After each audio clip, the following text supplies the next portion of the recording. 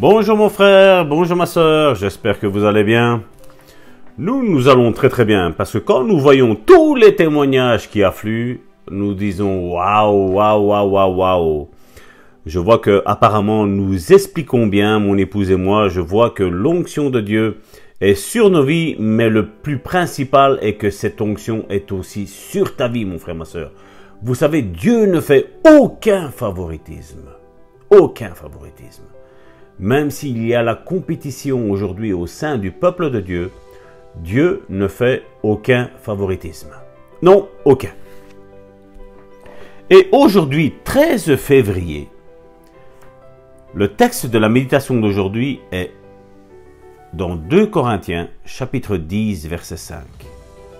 Nous renversons les raisonnements et toute hauteur qui s'élève contre la connaissance de Dieu. Et nous amenons toute pensée captive à l'obéissance de Christ. Le titre de la méditation d'aujourd'hui est Renverser les raisonnements.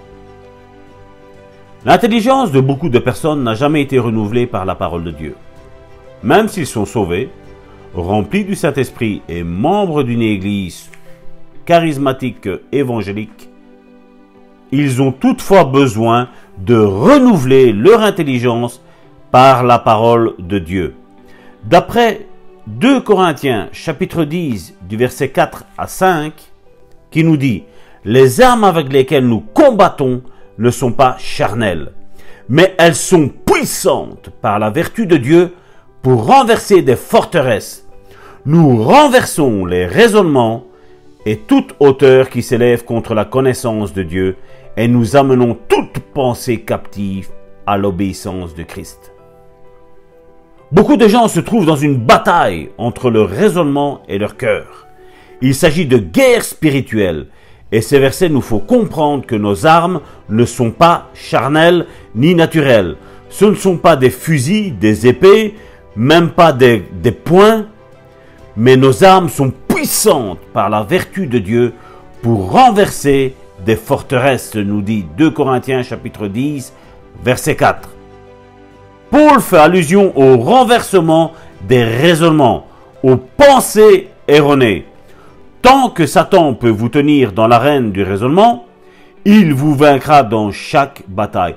Et mon frère, ma soeur, tu n'auras jamais, jamais, jamais la victoire. Jamais. Tu dois sortir de ces raisonnements. C'est ce que nous disions les jours précédents. Tant que tu restes focalisé sur tout ce que tu vois, sur tout ce que tu ressens, sur tout ce que tu penses, sur tout ce que les médecins ont dit, tu n'auras jamais ta guérison. Tu ne l'auras jamais. Nous ne sommes pas en train de faire de la pensée positive. Nous sommes en train d'aligner nos paroles avec la parole de Christ.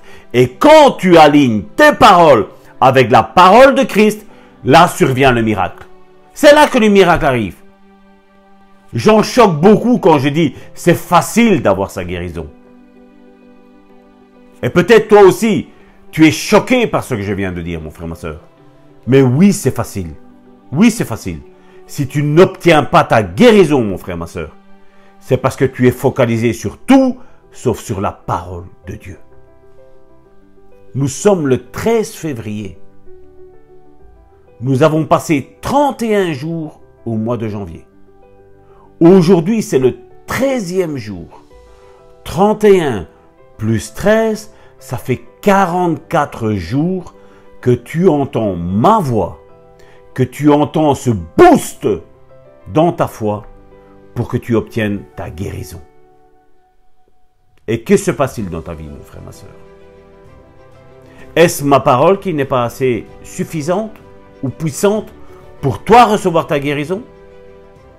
Moi, mes paroles sont basées sur la parole de Dieu. Et la parole de Dieu est la vérité, mon frère, ma soeur. Et la parole de Dieu vient pour bouleverser nos raisonnements. Comment un homme peut-il mourir et sauver toute une génération? Ça, humainement, c'est impossible. Mais la Bible nous le dit et nous le croyons. Et pour la guérison, c'est quoi? Jésus nous dit que sur le bois du calvaire, il a porté chacune de nos maladies, chacune de nos infirmités. et ça, tu ne veux pas le croire.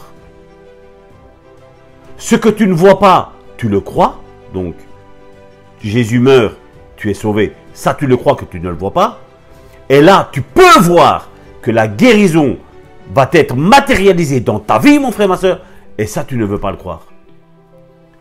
Sincèrement, j'ai des difficultés à le croire. Je crois plus en la deuxième qu'en la première.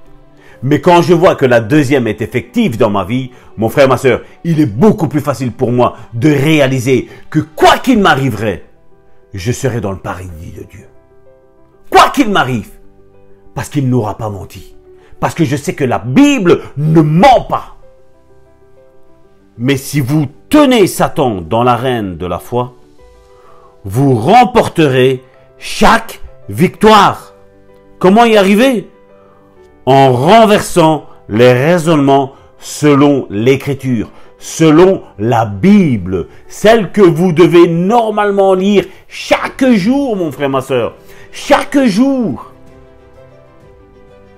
Ta foi serait décuplée si chaque jour tu prendrais un moment pour lire ta parole, mon frère, ma soeur.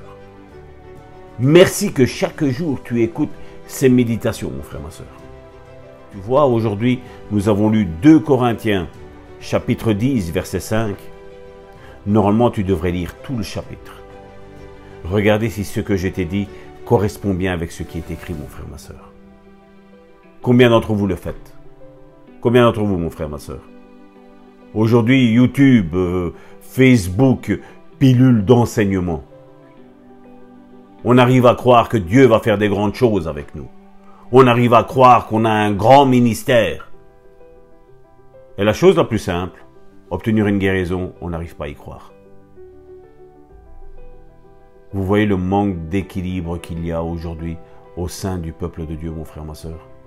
J'espère qu'aujourd'hui, 13 février, tu aies reçu dans ton esprit un équilibre, mon frère, ma soeur. Un équilibre. Commence par le début, ne commence pas par la fin. On ne commence pas une maison par le toit, on commence une maison par les fondations, mon frère, ma soeur. Et ceci, ces enseignements, mon frère, ma soeur, sont des fondations, mon frère, ma soeur. Des fondations solides. La maison qui est bâtie sur le roc, mon frère, ma soeur, ça commence par la foi. Et puis tout vient s'additionner à la foi. Au nom puissant de Jésus, je prie pour que tous tes raisonnements erronés tombent en poussière maintenant et tu t'accordes avec la parole de Dieu, mon frère, ma soeur. Au nom de Jésus, nous allons faire la bonne déclaration. Amen, amen.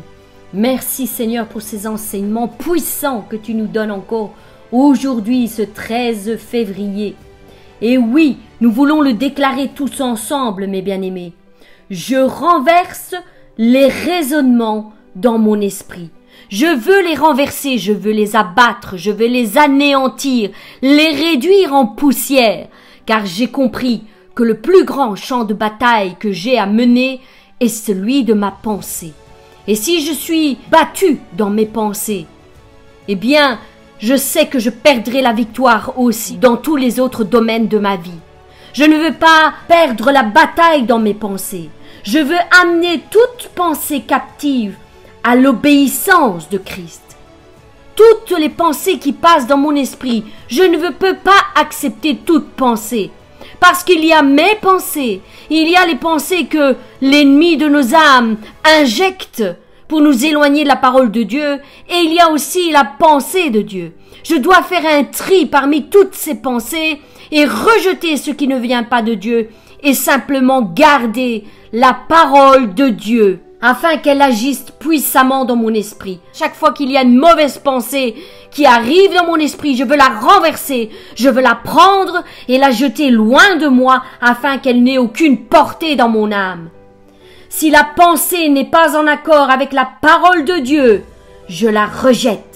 Je la rejette au nom puissant de Jésus-Christ. Je réfléchis et je fais confiance à ce que dit la parole de Dieu uniquement. Non à ce que je ressens, non à mes sentiments, non à mes émotions, non à mes douleurs, à mes souffrances, à mes angoisses et à mes peurs. uniquement la parole de Dieu. La parole de Dieu me dit que je suis guéri, eh bien j'accepte cette parole et je la fais effective dans mon âme. Je suis guéri. Mais bien aimé, quand vous avez des douleurs, quand vous avez des souffrances, proclamez la parole de Dieu. Proclamez, c'est ainsi que nous renversons les pensées et que nous les amenons captives à la croix.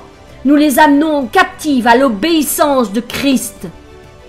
Même si j'ai des douleurs, même si j'ai des souffrances, Christ a donné sa vie pour que je sois guéri et je serai guéri au nom puissant de Jésus-Christ. Soyez des battantes, soyez des battants, mes bien-aimés. Ne vous laissez pas convaincre par l'ennemi. Il a une puissance de conviction. Mais nous devons enlever sa domination sur nous parce que Christ a payé le prix. Il nous a rachetés pour que nous soyons libres, libres de penser. Ne nous laissons pas avoir par toutes ces pensées négatives qui viennent s'engendrer. Mettez de la louange, commencez à chanter quand les pensées négatives arrivent. Éloignez de vous ces pensées. Ne vous y attachez pas, n'y prenez pas garde, n'y réfléchissez pas, ne les méditez pas, ne les tournez pas en boucle dans vos têtes, parce qu'ainsi elles prennent racine. Éloignez ces mauvaises pensées de vos cœurs et de vos âmes et de vos pensées, rejetez-les et remplissez-vous de la parole de Dieu. Parce qu'à chaque fois qu'on retire une mauvaise herbe, je vous donne euh, une symbolique, mes bien-aimés. Prenez conscience de ceci. À chaque fois qu'on retire une mauvaise herbe d'un champ, il y a un trou qui est laissé. Eh bien, nous devons remplir ce trou. Si vous enlevez une pensée négative, remplissez ce vide par la parole de Dieu et laissez-la prendre effet dans vos esprits, afin qu'elle pousse et devienne une plante à la gloire de Dieu. Je proclame que vous êtes guéris au nom puissant de Jésus-Christ. Dites-le avec moi, je suis guéri et je renverse tout faux raisonnement dans mon esprit. J'ai le pouvoir de renverser toutes ces pensées négatives au nom puissant de Jésus-Christ. Soyez guéris, soyez bénis mes bien-aimés et à demain.